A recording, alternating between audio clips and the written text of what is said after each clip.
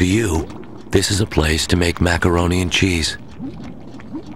To someone else, it's a way to make a kid sorry for what he did. Preventing child abuse and neglect doesn't just mean reporting it, it means stopping it before it starts. Find out how at preventchildabuse.org or 1 800 Children. A child is helpless. You are not.